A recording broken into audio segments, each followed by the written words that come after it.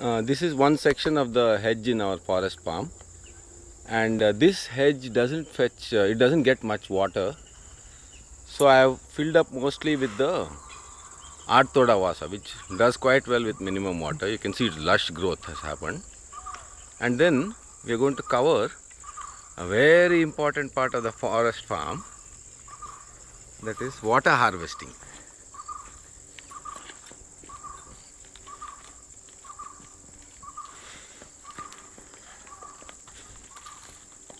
at the basically what we do is at the lowest part of the farm where all the water finally drains out. When there's extra heavy rain once in two or three years it rains all night long.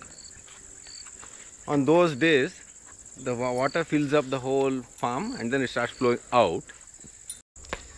Uh, this is one section of the hedge in our forest farm and uh, this hedge doesn't fetch uh, it doesn't get much water. So i have filled up mostly with the arthoda vasa which does quite well with minimum water. You can see lush growth has happened. And then we are going to cover a very important part of the forest farm